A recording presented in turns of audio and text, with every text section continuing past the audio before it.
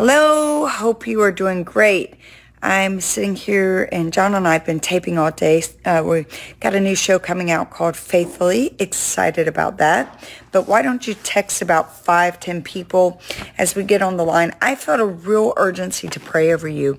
I mean, been in prayer. We're actually sitting here watching the basketball game and I've been praying and praying and I just said, there's someone I've got to connect with right now. And I don't know who it is, but I believe that the Lord is about to do something. I believe God's in the name of Jesus. The devil is a liar, even interfering with, with, with whatever complications. So let's just go into prayer. Uh, prayer superimposes the will of God. When we pray, we pray to the Father in the name of Jesus. Prayer changes things. Prayer changes your life, your situation. So get some people on the line right now. We're going to pray some very specific things. First off, whatever weapon the enemy would try to form against you, I declare it will not prosper. According to Isaiah chapter 50, 54 verse 17. You are established in righteousness and oppression is far from you, according to Isaiah chapter 54 verse 14. Take the shield of faith and quench every fiery dart right now, according to Ephesians chapter 6 verse 16. You're equipped with the armor of God. So you take the sword of the Spirit, which is the word of the Lord, which we will be praying the word over you tonight, and use it against the enemy, according to Ephesians 6 17. Victory is coming to you. I declare victory, for God God has already given you the victory through Christ Jesus, according to 1 Corinthians chapter 15, verse 57. So you're delivered from the power of darkness and you're translated into the kingdom of God's dear son, according to Colossians chapter 1, verse 13. You do not have the spirit of fear, but of love, power, and of a sound mind, according to 2 Timothy chapter 1, verse 7. So let every demonic network, every demonic gathering that is aligning itself against you, your purpose, your family, your finances, your business, your ministry. Let it be scattered right now in the name of Jesus. Let it catch fire right now. Let every evil eye that would monitor you, let every snare, let every trap of the enemy be overturned by the superior blood of Jesus. The Bible declares that your hand is upon the neck of the enemy, according to Genesis chapter 49, verse 8. As you begin to praise God, as you begin to press in by prayer right now, remember when when Jacob was naming his sons, and he said, Judah, thy hand shall be upon the neck of your, your enemies. And so what he was saying is there's a place that is on the base of the neck he was talking about that literally will paralyze. The enemy won't even be able to see you. So praise your way through this. Worship your way through this.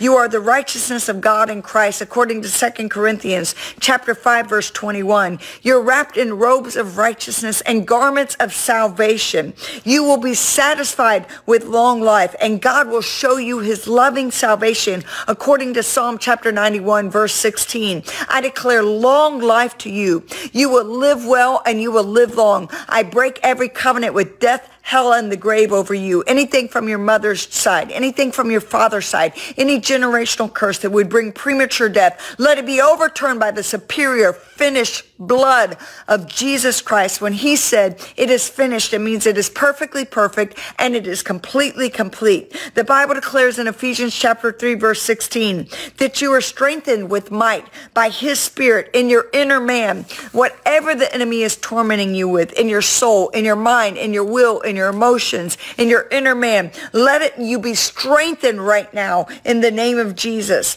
I declare according to Nehemiah that every curse, Nehemiah chapter 13 verse 2, that every curse will be turned into a blessing for you. I call you blessed. You are the head and not the tail. You're blessed coming in, blessed going out according to Deuteronomy 28 as you obey the commands of the Lord. You are the chosen of God. You are blessed according to Psalm chapter 65 verse 4. Your seed is blessed. According to Psalm chapter 37, verse 26. I pray over your children right now, your grandchildren right now. Let every veil of deception be removed. Let everything that is hindering them from serving Christ fully and surrendering, let there be a divine intervention. At the command of your word, I release angels to go visit them for divine supernatural setups right now. And I declare that your seed is blessed. Your seed is blessed according to the word. You You will inherit the land according to Psalm chapter 37, verse 26. Take possession, possession of property, possession of your homes.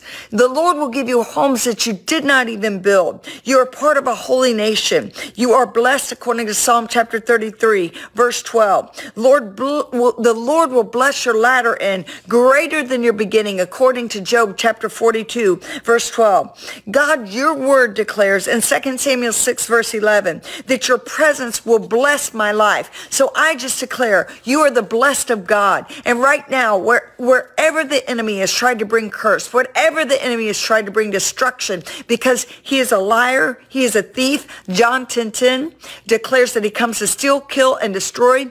I declare blessing over you and your household. You will drink of the cup of blessing according to 1 Corinthians chapter 10, verse 6.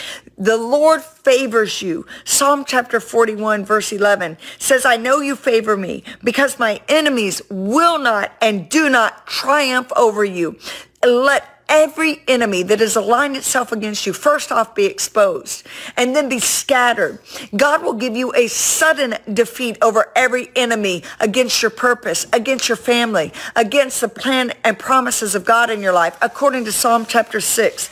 The word says in Psalm 106 verse 4, Remember me, O Lord, with the favor that you bring unto your children, and visit me with your salvation, your deliverance. God has remembered you.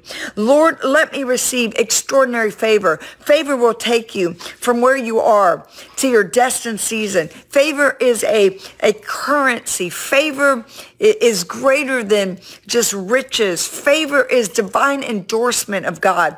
See, when Jesus said it is finished, when he was crucified, hung on a rugged cross, buried in a barred tomb, rose again on the third day, he reconciled us. He redeemed us. Let everyone who does not know Jesus Christ as Lord. Romans chapter 10 verse 9 and 10 says if you confess with your mouth the Lord Jesus Christ, you will be saved. All you have to do is go to God right now and say, Father, forgive me for all of my sin. I receive Jesus Christ as my Lord and Savior. Say, devil, back off. Let go of my life. I surrender and Jesus Christ is my Lord and Savior.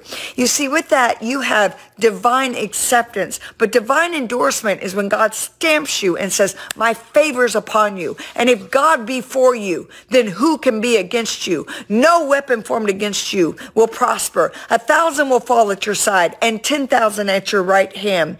The Lord says in Ephesians chapter 1, verse 17, that he will give you the spirit of wisdom and understanding and revelation, that the eyes of your understanding might be enlightened, that you might know what is the hope of the riches of the glory of the inheritance of the saints. 1 Samuel 3 7 says, Let your word be revealed in me. So right now, let every veil be removed. Let Good to see you, Angela. Let every veil be removed. Let God just open your eyes to see in the realm of the spirit. The Bible declares in 2 Corinthians chapter 12 verse 7, let you receive an abundance of revelations. I declare revelation. Revelation which is God removing the veil to show you the extraordinary things in his word, to give you rhema word. So let his rhema word be made revelation. He seated you in high places. You're seated in spiritual places with Christ Jesus. The Bible declares that you will have the mystery and speak the mystery of Christ according to Colossians chapter 4 verse 3. Let you receive and understand your hidden wisdom according to 1 Corinthians chapter 2 verse 7. So I declare wisdom over you right now. James 1 5 says, if any man lack wisdom, let him ask God and he'll give it to him liberally and abundantly. So let's pray healing over people. Everyone who is sick, whatever spirit of infirmity, disease has come against you, let it catch fire. Let it be flushed out of your body right now. Isaiah chapter 53 verse 5 says he was wounded for your transgression, bruised for your iniquity. The chastisement of his peace is upon you, and with his stripes you are healed. So let healing touch your body right now from the crown of your head to the sole of your feet. Let the oil of heaven flush through you. Let the oil of heaven be released through your body right now. The Lord rebuke cancer, sickness, every covenant made with death, hell, and the grave is being broken right now. I declare you will live long and you will live well in Jesus' name. Now let's pray increase and enlargement. And as we pray this, pray this for you, your family, your finances, your children, your ministry, your purpose. Break off of your life any limitations limitations, any restrictions placed on you by any evil spirits in the name of Jesus, any self-placed embargoes, any words that you have spoken over yourself, renounce them, revoke them, replace them with God's word. His word washes and cleanses your soul. I found an urgency to pray that God said, I'll bring people on that need to hear the word of the Lord spoken over them. Enlarge my heart so I can run the way of your commandments according to Psalm 119, verse 32. My mouth is enlarged over your enemies according to the word of God. In 1 Samuel chapter 2, verse 1, the Lord shall increase me the more and the more according to Psalm 115, verse 14. You will increase in stature, which means maturity, in favor and in wisdom according to Luke chapter 2, verse 52. Let your kingdom and government increase in my life according to Isaiah chapter 9, verse 7. Let me increase in the knowledge of God according to Colossians chapter 2, verse 19. I declare increase over you right now. Oh Lord, bless me and increase me according to Isaiah chapter 51, verse 2. The Lord will enlarge your territory. The Lord will expand you. You will bring forth more children.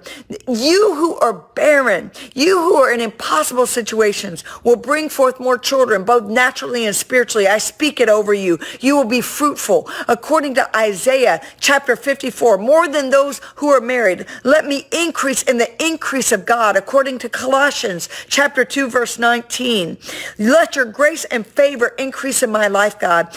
Oh, you are such a good God. Lamentations declares that you are faithful God.